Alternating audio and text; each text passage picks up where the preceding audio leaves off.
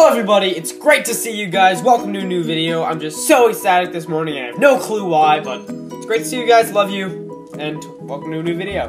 So a while back, a Nestle Water Corporation that we all know of uh, said that water isn't a human right, which is totally not acceptable in today's society, okay?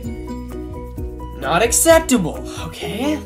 Water is a human right. Everyone needs water to live. Your body is 30% water. We need water right now. Nestle Corporation, give me water, send it in the mail. Or else we're gonna do a lot of beating up, and I'm not talking about the basic beating up in Fight Club, but the extreme beating up that you see in Mel Gibson's Braveheart. Anyway,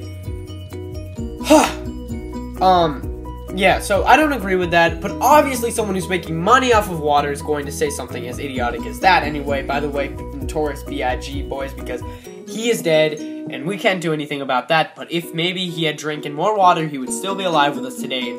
Since Nestle Corporation had said this in the future, we are screwed and Notorious B.I.G. nor Tupac will ever be back, and that's something that really upsets me, and I'm probably gonna have to cry about it tonight, just like everything else that's in my life.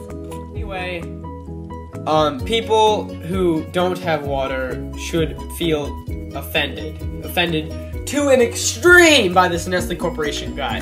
Uh, we all know there's other comp- companies that like think that agree with me saying that water is a human right, which obviously is. Everyone needs water. Everyone wants water to live. But that being said, we need you know we need companies like Dasani and Aquafina to uh, supply water with people who don't have water, because you know this is also something that's completely off topic. But we spend millions and we spend billions of dollars in warfare. Warfare. That's killing other people. That's what we're talking about. We're trying to defend and kill other people. I mean, it's fine. I agree with warfare. I, I think we need some warfare, but we don't need more money on that. We could we can cure world hunger, and I know that's a common fact. We all know with all the money that we spend in warfare, we could easily cure world hunger. But I think we need to do something about it. Step up to the plate and do something about it. So I'm going to be making a pact.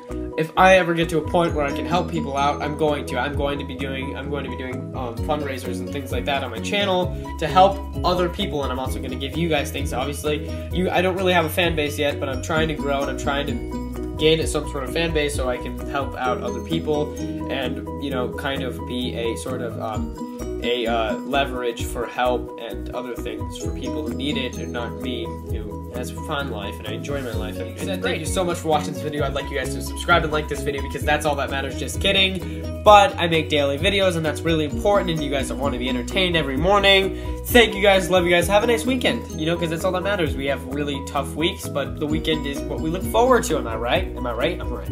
Love you.